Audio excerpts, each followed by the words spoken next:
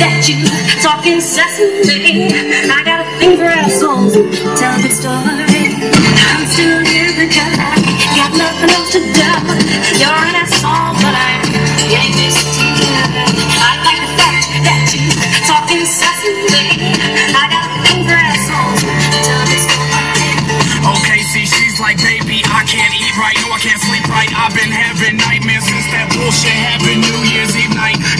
me she deserved it. Put me in the eye and she cried it was worth it. Let me put work in, you can put work in. Everybody knows the relationship is perfect, and I'm working, full searching. Baby, to this marriage thing, girl, I'm a virgin. Never in my life I felt so worthless. Never in my life I felt so hurt. Shit, consequences of my actions hold me in my sleep. Will I grow to be a man or remain the shell of me? Hell, if he even knows which way his story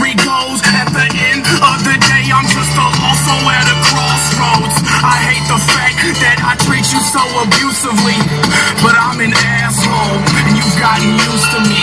I'm still here because I got nothing else to do. You're an asshole, but to you. I like the fact that you talk incessantly. I got a thing for assholes. Tell the story. I'm still here because I got nothing else to do. You're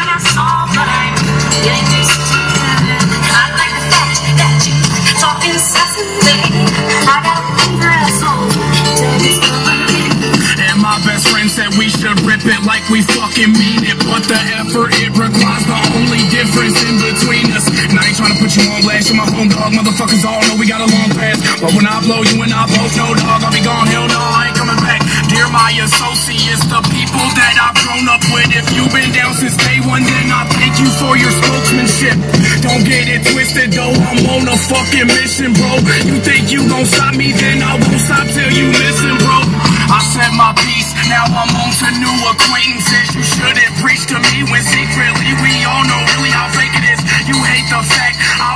you keep the truth from me,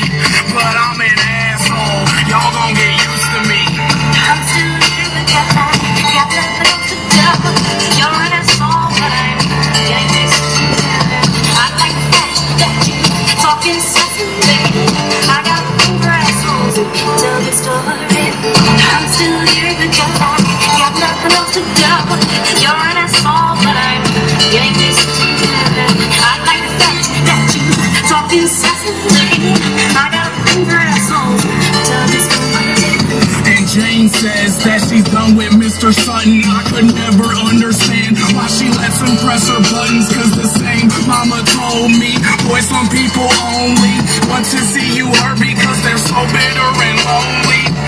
Dear Jonathan, I'm sorry about our father and how every time you call, I'm too busy to be bothered with. I got excuses, I got reasons, I got plenty of whys. But the fact is, I'm just too fucking scared to let you inside. I know it's probably been too long since we all spoke last. But I